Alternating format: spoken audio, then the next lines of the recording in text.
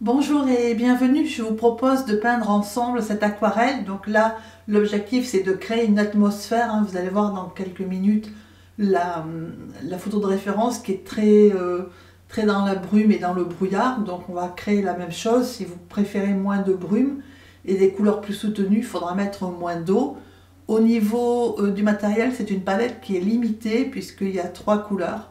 En gros, en bleu, en jaune, en rouge et un petit peu de gouache blanche ou de blanc de, titane en facultatif si vous voulez ajouter un petit peu de neige comme j'ai mis. Et euh, donc le, l'orientation c'est paysage et puis il faut des pinceaux ronds, donc en gros au moyen et un plus fin. Donc euh, au niveau du plus fin, moi j'utilise plutôt un rigueur numéro 2 mais un pinceau rond numéro 2 ça va très bien.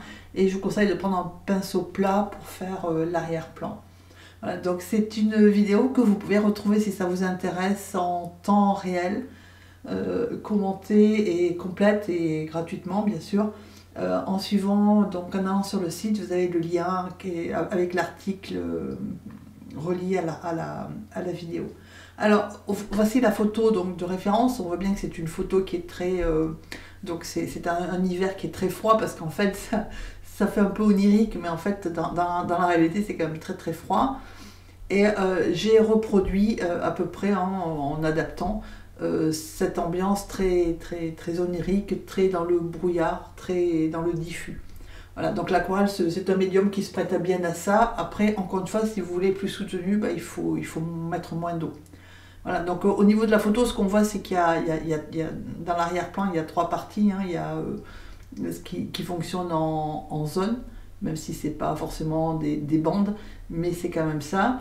Et euh, donc ensuite, vous avez le premier plan que moi j'ai modifié un petit peu parce que je trouvais que juste de la neige, euh, c'était pas...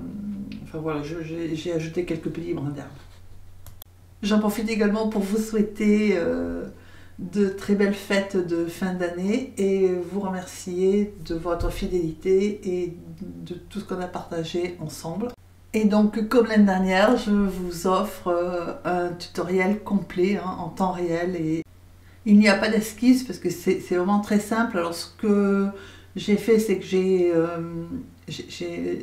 positionné la ligne d'horizon euh, très très fin, le, coup de crayon, hein, pour pas que ça se voit. Voilà, donc après, ben, vous positionnez par, rapport à la hauteur de votre feuille et puis à l'avant-plan que vous voulez. Moi, j'ai à peu près respecté quasiment les, les proportions qu'il y avait sur la, sur la photo. Ensuite, j'ai mis, alors sur le côté gauche ou droite, moi je l'ai mis à gauche parce que je suis droitière, mais n'importe quel côté c'est bon. Euh, en fait, le, départ du ciel, de, la, de la bande grise en haut, ça, sera masqué de toute façon par l'encadrement.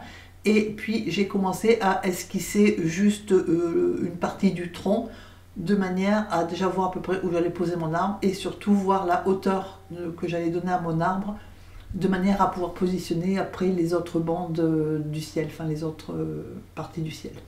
Voilà, et c'est tout. Et une fois que j'ai euh, positionné mon, arbre, je l'ai gommé. Alors ensuite, donc j'ai mélangé le rouge et le bleu, c'est-à-dire le vermillon et le bleu pour faire du gris. Et donc j'ai commencé la première partie du ciel, donc éviter de peindre linéairement pour pas que ça et ensuite, j'ai mélangé donc le rouge et le jaune, c'est-à-dire le vermillon et le jaune de Naples. Et j'ai fait exactement pareil. J'ai fait la zone euh, bah, qui... Alors, c'est vrai que sur la photo, elle est peut-être un peu plus rosée que la mienne. Moi, je la voyais plutôt comme ça. Là, il faut résister à la tentation d'aller mélanger au pinceau. Euh, la peinture se mélangera très bien toute seule, hein, entre l'eau et le pigment. Il, il fait ça très très bien.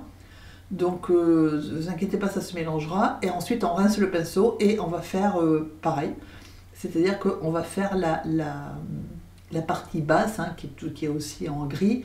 Donc, euh, vous voyez que j'ai peint plutôt en diagonale jusque-là, de manière à ne pas avoir quelque chose de trop statique. Euh, parce que déjà que le paysage, il bouge pas beaucoup. Donc, euh, j'ai évité de faire quelque chose de trop statique du départ sauf à partir de la ligne d'horizon où là il faudra peindre bah, horizontalement en fait. Et ensuite, une fois qu'on a fait ça, on laisse sécher. Voilà. Et une fois que c'est donc là donc euh, que c'est euh, que a positionné nos éléments, on veille évidemment à égaliser un petit peu la ligne d'horizon. Alors il ne faut pas non plus que ça soit hyper euh, horizontal parce que c'est un talus en fait. Donc voilà, je, l'égalise un minimum quand même, mais, sans plus en fait. Alors ensuite on laisse bien sécher et une fois que c'est sec, avec la même couleur qu'on a fait au milieu du ciel, alors vous pouvez ajouter un petit peu plus de, bleu ou de... Moi c'est la même couleur, hein. c'est juste que comme ça se superpose, ça fait un peu plus violet, mais c'est exactement la même couleur. Et donc on peint, puisqu'on a, on a fait la marque, hein, le talus en évitant de le faire trop, euh, trop. Donc là vous voyez que ma peinture elle est vraiment très liquide, euh, parce que si vous voulez créer justement cette impression de, de, brouillard, c'est vraiment créer une, atmosphère qui est très particulière, il ne faut pas que la peinture soit trop, trop foncée en fait.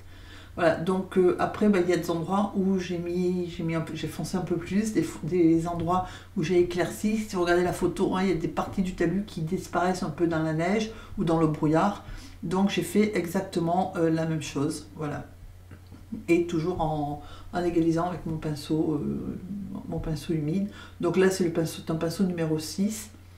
Donc vous faites votre, votre talus et une fois qu'il est sec, hein, enfin quasiment sec, parce que moi vous allez voir ça diffuse un tout petit peu, mais il est quasiment sec, j'ai pris le rigger, donc vous pouvez prendre un, autre pinceau si vous n'avez pas de rigger, et j'ai monté mes troncs. Alors en fait il faut, il faut, essayer de ne pas trop recharger le pinceau quand on arrive en haut des branches de manière à ce que le haut de l'arbre soit plus pâle. C'est pour ça que j'ai essuyé mon pinceau hein, pour retirer la peinture euh, de, manière à ce que l'eau des branches soit plus pâle que le reste, puisque si vous regardez dans la photo, l'arbre disparaît en fait, hein, quasiment dans, le brouillard. Donc après, ben, vous, peignez votre l'arbre comme vous avez envie de le, voir. Moi, j'ai pas trop respecté, je me suis inspirée, mais j'ai pas trop, j'ai pas, copié la photo. D'ailleurs, euh, j'ai un arbre de moins, je n'ai mis que trois. Euh, ça dépend de la longueur de votre papier, ça dépend. Alors par contre, euh, au niveau du papier, moi je le fixe pas sur le bord parce que c'est un, bord, c'est un, bloc pré-encollé, c'est-à-dire que les quatre côtés sont collés en fait ensemble. Hein. et donc ça se détache au cutter après. Euh, mais si vous peignez sur des feuilles ou sur un bloc qui n'est pas attaché sur les quatre côtés, il faut fixer votre papier avec du ruban de masquage ou du washi tape un peu épais, mais il faut, ou bien si vous avez un support qui s'y prête, euh, une agrafeuse. Mais euh, il faut le fixer, sinon il va gondoler. Hein. Il n'y a, que le papier supérieur à 600 et quelques grammes qui ne gondole pas. Sinon, euh, le reste, le, le, papier gondolera avec l'eau. Et là, là c'est quand même mouillé. Donc ensuite, j'ai pris du... C'est la couleur du ciel que j'ai mis, donc je passe à sec.